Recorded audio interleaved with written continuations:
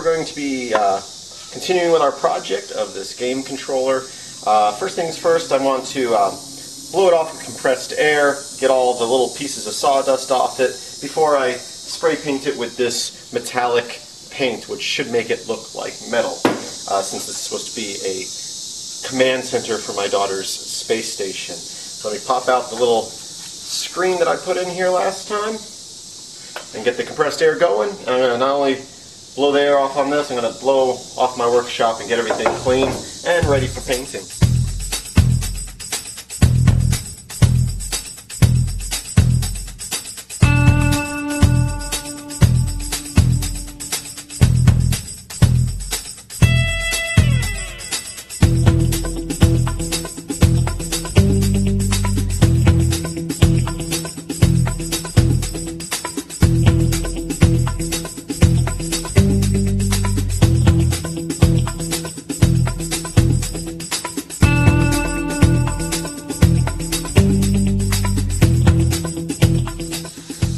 While I'm waiting for the paint to dry so I can do a second coat, here's another simple little project that I'm going to do on the side.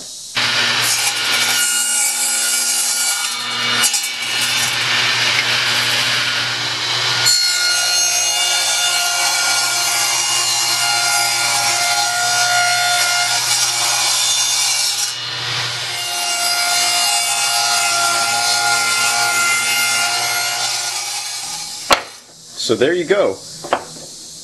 Two little pieces of scrap wood, cut a line down the middle. And you might be wondering, what are these? Well, they come in very handy if you have little kids with small hands who like to play cards. Because they can't hold the cards in their hands very well. But now they have little card holders for when they're playing games. Call me cheap, but I like to use every little scrap of wood that I can, and this works great for my daughter, and as my son gets older, he'll need one, or if my daughter has friends over to play. Uh, but yeah, instead of throwing away little scraps of wood, you can just cut a line right down the middle and you have little card holders. Let's go and check on our spray paint.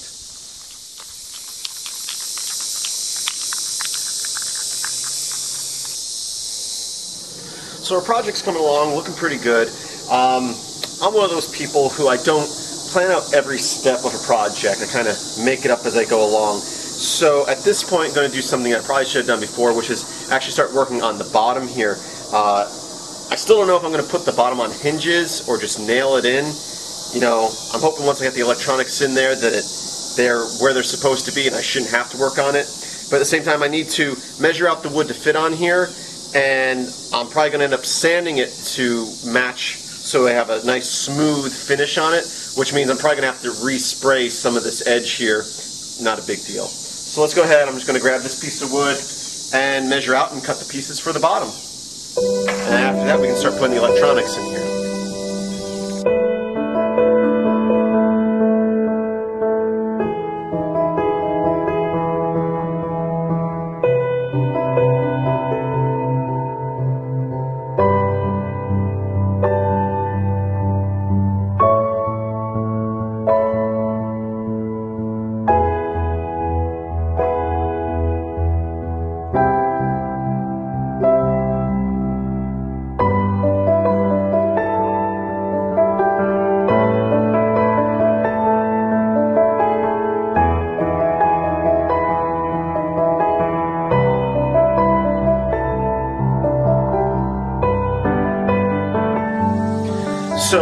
As I've mentioned in the previous videos, besides just doing a basic game controller, I thought I'd make it a little more unique by adding a little dot matrix uh, screen here. So I have this dot matrix hooked up to an ESP8266, and if you follow my channel, I've talked about this a lot, I've shown you a little bit of it, and I'm not going to go into a whole lot of detail on how this setup works right now, because I have a series coming up that talks about all types of displays, including this, and um, but the reason I'm using this as opposed to just a basic Arduino over some, some other microcontroller is that this has obviously built-in Wi-Fi.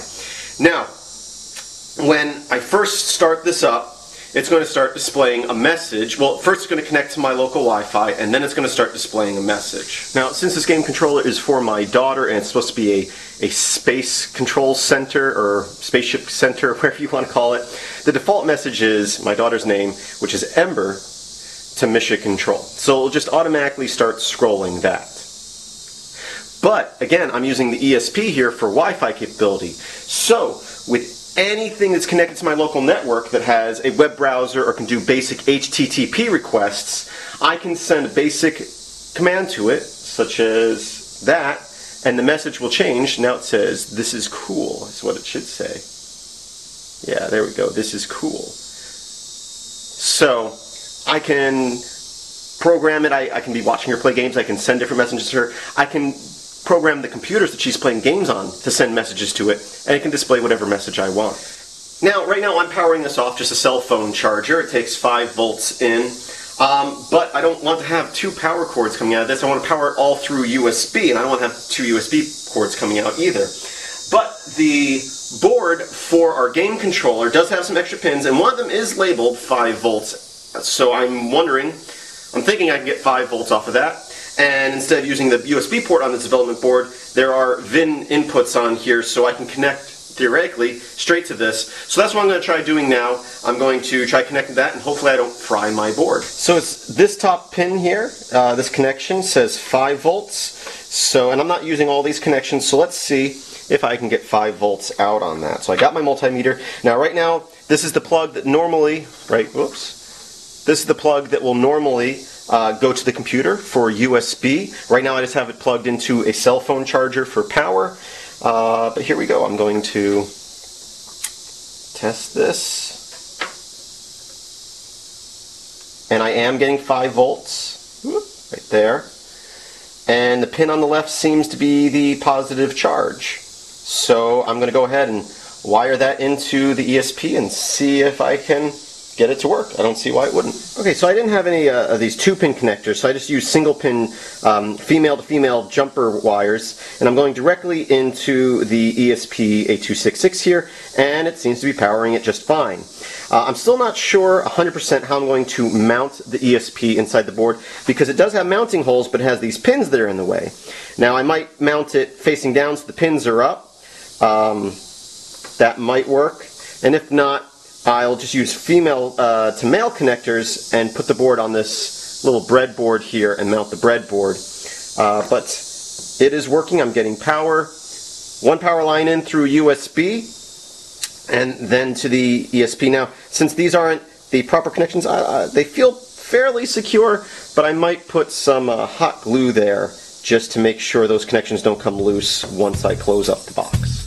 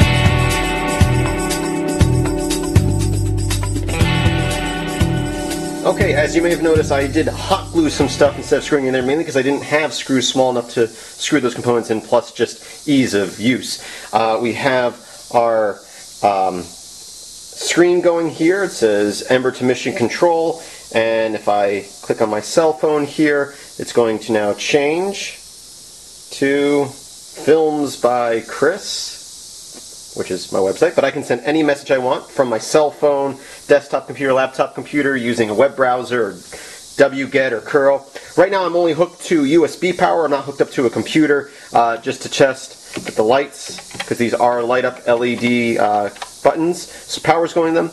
Next test, before I, uh, you know, uh, put the back on, I want to hook this up to a computer and make sure that all the buttons are being sent as a game controller. So here we go. I got Super Mario Brothers 3 hooked up, and here's the controller. Little dot matrix screen's working. Go ahead and hit start and start playing. I've already programmed these keys into the emulator. And now I can start playing.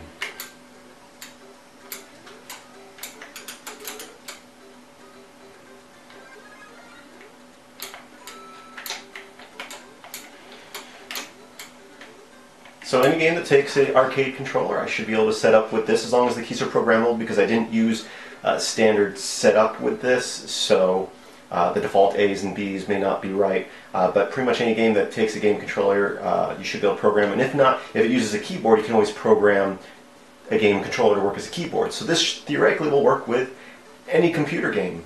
Uh, keep in mind that uh, this joystick is not pressure sensitive. It's like clicking a button, you can hear it, so it's there's no you know, you wouldn't want to use this for a, a flight simulator uh, that, that needs that fine-tuned moving, but any old arcade game this will work great for. I only put uh, four game buttons on here, uh, so like a game like Street Fighter, usually you have six. I could have put more, but it's kind of isn't needed um, for the games my daughter's going to be playing. Plus, I'm going to be designing games for her specifically. And that is it. So yeah, and again, this since this uh, little screen is controlled through HTTP request, if I do write a, a game, I can have certain parts of the game send messages to that screen.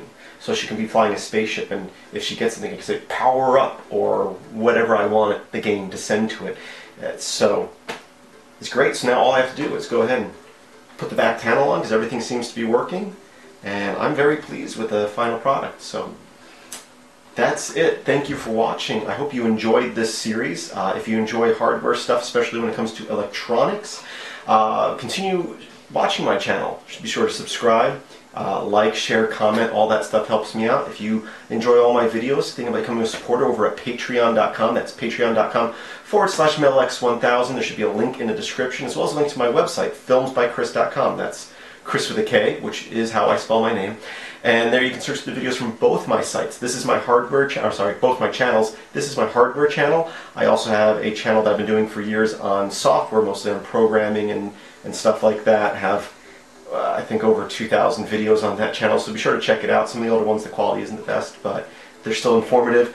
So yeah, all I have to do now is I'm, I'm just going to nail the back on here. I'm not going to put any, any hinge on here for some reason I need to get in here. Hopefully I don't. I can just cut this I'll put as min minimal number of nails in here as possible. So that's it. Thanks for watching, and as always, I hope that you have a great day.